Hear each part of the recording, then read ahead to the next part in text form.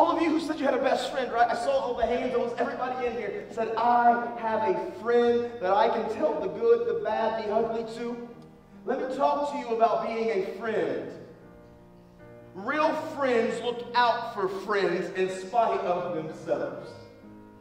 Real friends will be there for each other even when your friend doesn't want you to speak up and speak out.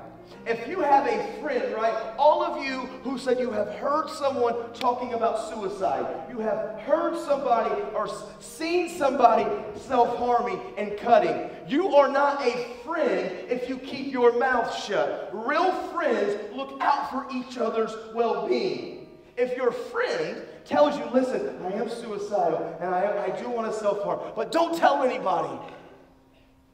If you're genuinely that friend that you said you are,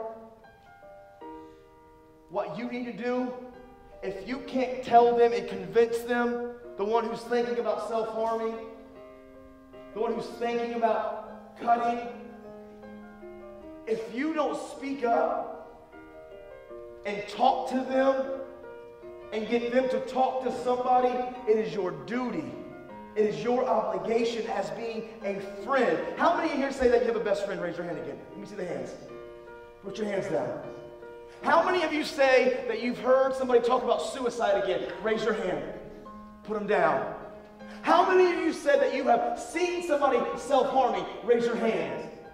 Put them down. So, all of you who said you're friends, I'm telling you, if you're genuinely a friend and you care about them, you'll speak up for them even when they won't.